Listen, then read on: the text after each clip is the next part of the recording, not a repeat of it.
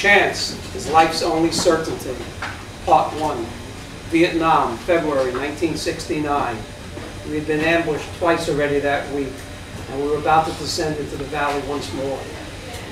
I walked point the night, the day before, and I was going to walk point again that afternoon. But now I was taking up the rear. I looked out at the point man at the other side, up front.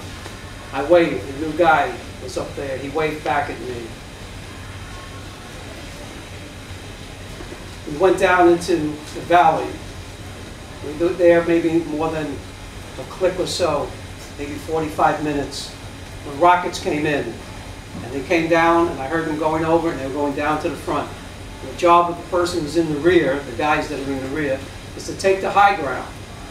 So I, so me and a few other guys, we climbed back up the mountain. We got about maybe 50 yards, and we found a tree and some boulders, and we got down. And that's where we stayed, because the snipers had us picked off. We couldn't pick up our heads, and we laid there. And we waited. And we stayed there for five days. And on the night of the fifth day, I laid there and I prayed. I prayed for my mother, who had lost her, her brother, her youngest brother, in Normandy, the beach of Normandy on D-Day. I thought of my grandmother, how she used to cry years later. And I wondered, what is she sobbing about? And my mother would tell me. She's thinking about Uncle Irving. And this was many, many years later. I didn't want my mother to be thinking that. I prayed for my father. I prayed for my brother, all to forget me. I prayed for my wife, who I had married just two weeks before I went to Vietnam. I prayed. I prayed for that moment that she was actually in the arms of somebody else. That she, I had no reason to believe she was. She wrote me letters every day. I got dozens and dozens, hundreds of letters. But I prayed that she was. I prayed that she was thinking and worrying about how she's going to tell me because I wanted her to forget me too. I never prayed for myself. I prayed because there's no reason to pray for myself because I'd be dead in the morning.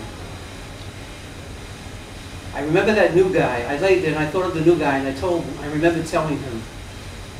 He asked me, he said early on, he said, what's the first thing, what should I do? What's, what's the most important thing to know? And I had told that new guy, the one that was walking point, I had told him the first thing you do is when your shit hits the fan is you hit the ground. And then you figure out what else you're going to do. I thought about all this.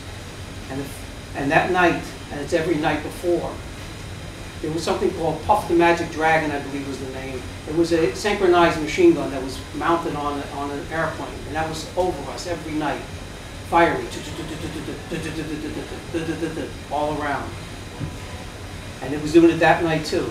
I was down to my last few swallows of water. We had run out of food. And I laid there, and I thought of all this, and I knew when morning come I wouldn't be alive. But morning came. Came a thunderous rattle, a thunderous crack of grenades.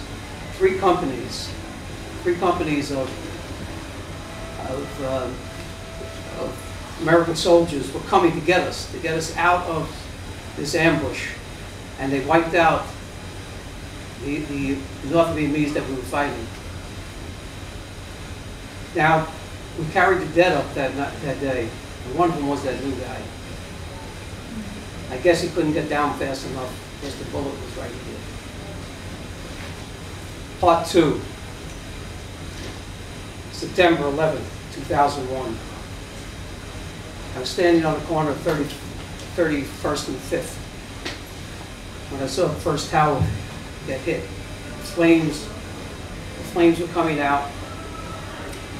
And I didn't know, no one knew what was going on. We were all probably around at that time, of course. And no one knew what was going on. And I asked, I asked people the street, what, what, did anybody know? And they didn't know. So I called my daughter, and she, and she was home. And I asked her, you have the TV on, what's going on? The tower's burning. And she put on the TV and she said, I don't know, sounds like they said a plane hit it. And as she's talking to me, another plane, another explosion comes. It's a South Tower. And it's up. And I'm saying, oh my God, what's going on? And then she tells me they're talking about terrorists And I said, and she said to me, like she always, said, get the fuck out of the city. And I said, I said, this is New York. And I'm a regular New Yorker. I said, this is New York. And I went, and I went down the block, and I went to a cafe. And I sat down. I had breakfast. I didn't know what was going on. TV was on. People were underneath the TV ordering their breakfast. You know, no one had the shock yet of what was going on. And I sat there. And then I saw the towers burning, and then that plane that went into uh, the plane that went into the Pentagon. And at that moment, everyone was looking. And then they got back to the towers. And then I saw the towers crumble. And I knew we were at war. And I got into war mode again. I said, I tried, looked at my cell phone, I saw I couldn't make any phone calls, there was no signal. I remembered that there was a, a uh, phone booth on the corner, so I ran out to the corner. I was the first one there. I was trying to reach my wife in New Jersey, but I couldn't remember how to make a long distance call because I'm so used to using my cell phone. And I'm trying to figure, out, I can't figure out what to do. So I called my brother in Brooklyn. I said, do me a favor, call my wife, call Janet. She's, she's over at Jen, my daughter Jen's place. And he did. And now I said, what do I do? I look around, it's quiet in the city. I go and I start walking back. And now I go back to 31st and 5th. And I look again. And now, as you know, it was, was just dust and smoke coming from there. And I called the ground zero before I heard anyone else call it ground zero because I had been in ground zeros. And I looked there and I thought, you see, I had a choice to make that morning. I was coming into the city from New Jersey and I had planned to meet someone for lunch near the trade center. And I had planned to go, as I always did, take the train to Newark, take the PATH train into the trade center and go up to the North Tower, go up to the to the Borders bookstore have my bagel and cream cheese there. But at the last second, I said, you know, I'm not. I'm not going to go downtown first. It was early in the morning. I said, I'm going to go uptown and meet a few customers up there and then go back downtown. So at that last second, I bought the ticket to Penn Station, New York. And now here I was looking up at the buildings. I started to walk back to Penn Station. Someone said the trains were still running. I walked down 32nd Street, 31st, 32nd Street, where there's a Franciscan church. And on one side, and on this side, is a fire station. I saw, I saw the people, I saw the firemen standing there as I was standing by the church, and I looked at them. And their heads were down. I don't know if they were there and back already or whatever, but their, head, their heads were down, and I looked at them, and I knew that now they were the infantrymen, they were the grunts. I knew what they'd be thinking years from now. And I walked, and I went to Penn Station. I went down to Penn Station. I went into the train. The train was leaving. It was going to leave. I go into the train. I get inside, and now the door's closed. And I'm we'll be heading back to Princeton, but the train doesn't start. And I'm saying to myself, what am I doing? I could be underground. I said, I could be here forever. Who knows what they're hitting, what they're doing? This is a war. Train doors open. Come out, we're evacuating Penn Station. So now, I said, where can I go? I have friends in the city, but they're all in high buildings. It's, it's, it's silent, it's quiet out there now, you know. You remember. There's nothing fighter jets. And I heard fighter jets before, so I know. And my friend Doris right across the street from Penn Station. She worked for a big company. Her office on the third floor. I decided to go up to her office. I walked in, there was chaos there. I just walked in right through the reception. My friend Doris sees me, she says, you could pick a hell of a day to come into the city. I said, you have a phone. I got onto a phone, got a line through, got to my wife, told her I was okay. Now I stayed there. I stayed there for several hours. People were in the conference room looking at the news and, and, and buildings over and over again coming down. And I knew that that's the bad thing to do.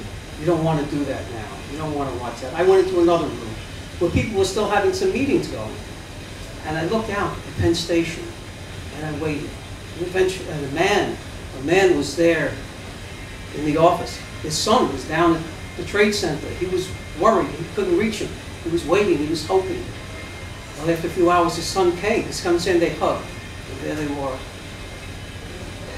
And now it was about 2.33 o'clock. Station. It's crowded on the outside of 7th Avenue all around. And I hear that they're opening up Penn Station. So I go down there in the crowd. I saw somebody I knew. I was talking to them. But while I was talking to them, there was still a war mode. I looked. I was looking at the buildings because there could be snipers, and there weren't. And then I went into Penn Station. Very orderly, very nice. And now I'm in Penn Station. What do I see? I see people who have walked all the way from the Trade Center. They're covered in white soot and plaster and whatever. And they're covered in, they're in suits. And I look at them, and I see the looks on their faces. I know that look. But I was in an out-of-body experience, you see. I was numb to all this. And now, we get in, we're on, get into the train, we're going back to Princeton. And I see some young men in front of me, also covered with this debris. And I hear them talking. They're young men, they're about 30, 30 years old. And they're talking, someone talking about their husband, uh, about their wives. And, they, and I could see they were in shock. And then one of them was talking about the building that he was in. And It might have been number five, number seven, I don't know which building it was at, at, at this moment. But that building, they were told to evacuate because it wasn't safe. Now we travel and we're getting to Penn Station. I look, I look back, because remember on my trip in, I had looked, uh, as always, at the New York skyline. But now we came around Lower Manhattan, and there was just the smoke rising. Now we're getting close, we're getting close to my stop in Princeton Junction. I look, I get up, I look down at the young men, I see the one man, and I said to him, hug your wife when you get home. And now I look, and I saw the people on the platform all waiting for their loved ones. They're there, women, children, men, waiting for their wives, loved ones. And I remembered, I remembered when I came home from Nam, my brother, my mother, my father, my wife. I'll never forget the kiss she gave me to this day. Three weeks, we'll be married 45 years. I got off, and I saw these people, and I felt for them. And now I went home. My, my wife was still not home. She was with my daughter. I get into my house. I put on the TV. I listen to some messages on the voicemail. One of them's from my cousin. I say, I remember then that he, that flight from San, uh, from Boston, that went to Boston, Newark, San Francisco, he took that flight all the time. He, he worked in Boston for a consulting company and went home. And I said, oh my God, he wasn't on that flight because he was calling me from California to see how I was doing. On the TV, I heard that building that young man was in had fallen.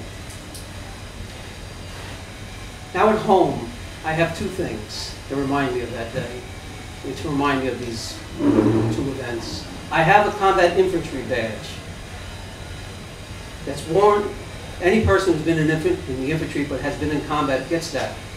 And that is worn up here, above all other medals. If you see any generals, you see anyone who's been in the military, that's been in the infantry, it doesn't matter what he has, he will wear that infantry badge above everything else. And the other thing I have is the ticket from to Princeton Junction that they didn't collect that day, dated September 11th, 2001. Chance is life's only certainty. Wow.